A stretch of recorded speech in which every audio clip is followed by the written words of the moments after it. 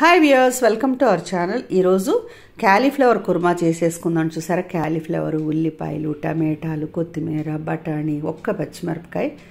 తర్వాత రుచికి తగ్గట్టుగా ఉప్పు పసుపు కారం అండి. ఫ్రోజన్ బఠానీలు తీసుకున్నానండి. అవి ఇన్స్టెంట్గా మనం వాడేసేసుకోవచ్చు. చూసారా? జీడిపప్పు పచ్చి కొబ్బరి సోపు నూనె నీళ్ళు అల్లం వెల్లుల్లి పేస్టు గరం మసాలా. ఇవన్నీ మనకు కావాల్సింది. ముందుగా మనం జీడిపప్పు పచ్చి కొబ్బరి సోపు కొంచెం నీళ్ళు పోసేసుకొని మెత్తటి పేస్ట్ లాగా చేసేసుకుందాము. చూసారా? ఇప్పుడు ఈ పేస్ట్ చేసేసుకొని మనం పక్కకు పెట్టేసుకుందాం. కుక్కర్ వేడి చేసుకుందాం. ముందు కుక్కర్ వేడి చేసుకుని రెండు చెంచాలు నూనె వేసుకుందాం. మీరు బటర్తో అయినా చేసుకోవచ్చండి. ఇప్పుడు అల్లం వెల్లుల్లి పేస్ట్ కొత్తిమీర కొద్దిగా వేసేసి పచ్చివాసన పోయే వరకు వేయించి ఉల్లిపాయ పచ్చిమిరపకాయ వేసేసేయాలండి. ఇవి కొంచెం మగ్గిన తర్వాత మనం టమాటాలు వేసేసుకుందాం. చూస్తున్నారా? వరుసగా టమాటాలు బఠానీ క్యాలీఫ్లవర్ కూడా నేను ఒక పది నిమిషాలు గోరువెచ్చటి నీళ్ళల్లో వేసానండి. కొత్తిమీర వేసాను కొంచెం సువాసనకి. ఇప్పుడు క్యాలీఫ్లవర్ ముక్కలు కూడా వేసేసానండి. వేసేసి రుచికి తగ్గట్టుగా మనం ఉప్పు పావు చెంచా పసుపు కారం. కారం చూసారా? ఎంత కలర్ఫుల్గా ఉందో. ఇది కాశ్మీరీ లాల్ మిర్చి పౌడర్ అండి. స్పైసీగా ఉండదు. చాలా బాగుంటుంది.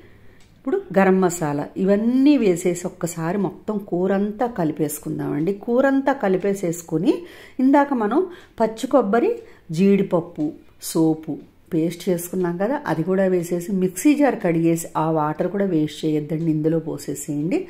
పోసేసి కొంచెం నీళ్ళు చిన్న గ్లాస్తో నీళ్ళు పోసేసి ఇప్పుడు కలిపేసేసి ఒక్కసారి ఉప్పు రుచి చూసుకోండి. ఉప్పు చాలకపోతే యాడ్ చేసుకోండి. ఇప్పుడు కుక్కర్ మూడు నాలుగు విజిల్స్ వచ్చాక ఆపేసేయండి. ఇప్పుడు కుక్కర్ చల్లారిపోయిందండి. తీసి మనం కూర చూద్దాం. చూసారు ఎంత కలర్ఫుల్గా ఉందో కూర? చాలా బాగుంది కదా. టేస్ట్ కూడా అంతే బాగుంటుందండి. ఇది చపాతీ పూరి అన్నంలో కూడా బాగుంటుందండి. చూస్తున్నారా? మొత్తం సర్వింగ్ బౌల్లోకి మార్చేసేసుకుందాము. చూస్తున్నారా? కూర అంతా కూడా ఎంత కలర్ఫుల్గా ఎంత బాగుందో. క్యాలీఫ్లవర్ కొంచెం చిన్న చిన్న ముక్కలుగా కనపడుతున్నాయి మనకి. ఇప్పుడు పైన కొంచెం కొత్తిమీర మనం గార్నిష్ చేసేసుకుందామండి.